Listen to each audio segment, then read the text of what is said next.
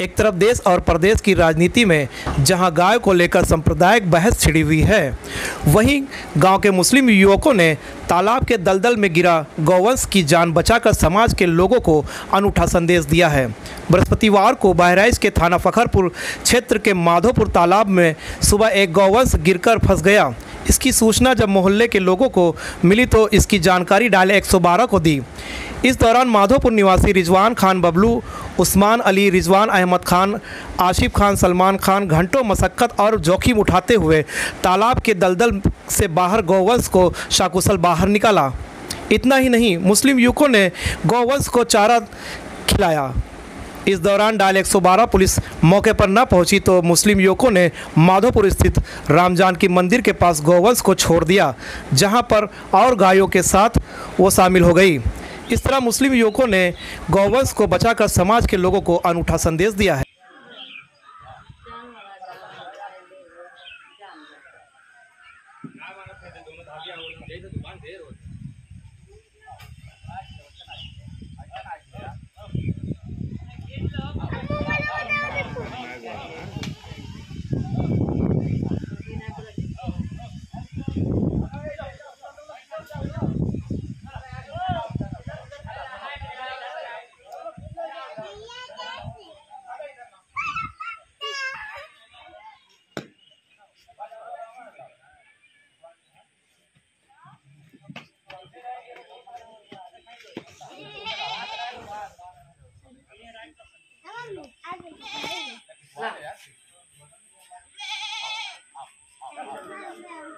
उधर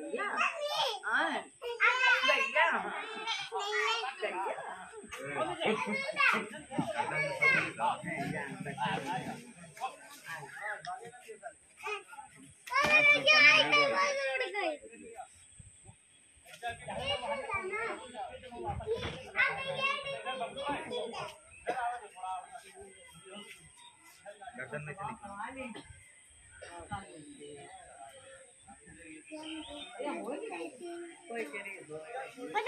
ओर से बता दो। खाना की ओर से